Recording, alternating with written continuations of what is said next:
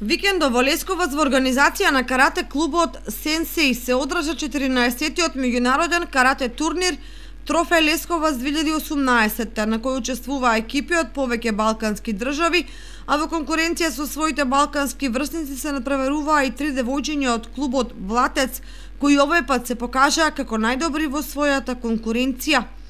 Во екипна конкуренција во состав Ана Георгиева, Нина Пискунова и Марија Данилова во кати и борби го освоија златниот медал.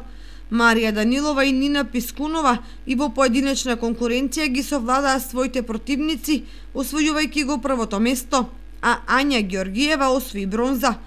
Во краток временски интервал ова е втор позначаен успех на младите каратисти од клубот Блатец, а под менторство на Дончо Јангелов.